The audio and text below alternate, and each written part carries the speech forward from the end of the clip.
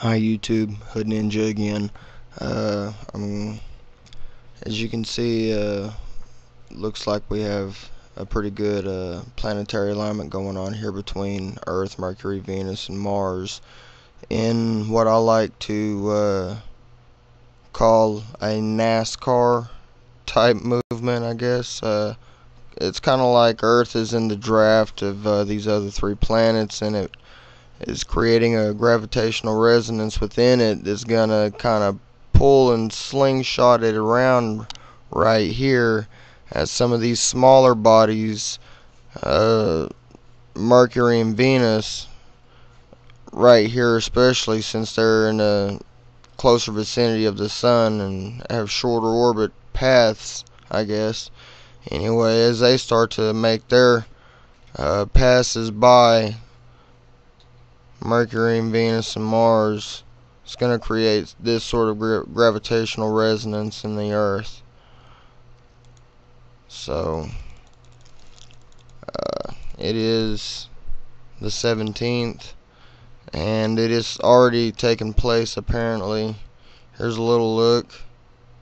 But I, uh, I believe this right here is really nothing. This right here is typical uh, at this point in time this uh, going on may yield uh, a greater resonance and we might see uh, six and greater uh, magnitude earthquakes here in the next I don't know I don't know this is a weird one. I don't even know how to cause it it just it seems like the 24th I don't know. They may change the trajectory paths. I don't know. Anyway, take it as you will. Either way, there's something happening there. as well, here are the uh, near-Earth objects that are in close approach as we speak that are over 400 meters in diameter or greater. And here's the astronomical units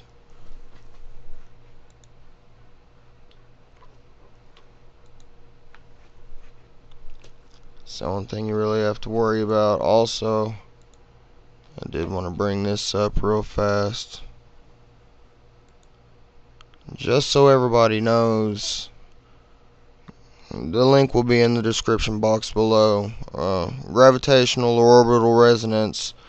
Some people or some scientists or you know theo theologians would like to say that it's a vibrational resonance, which pretty much it is.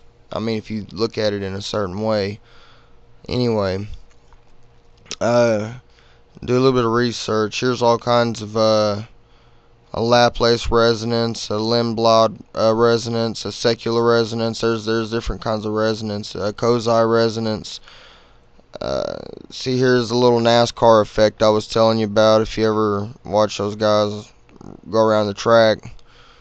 Every now and then one of them will get behind the other one and slingshot around. Anyway. Then again, this is just purely theory, uh, in my humble opinion. It does seem to have some scientific backing, and there are notable uh, differences in seismic activity through uh, recorded historical documents so anyway.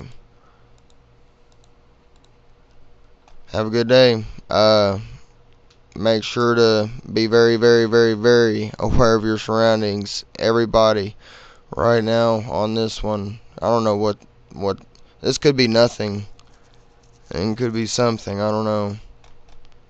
As always, God bless and peace.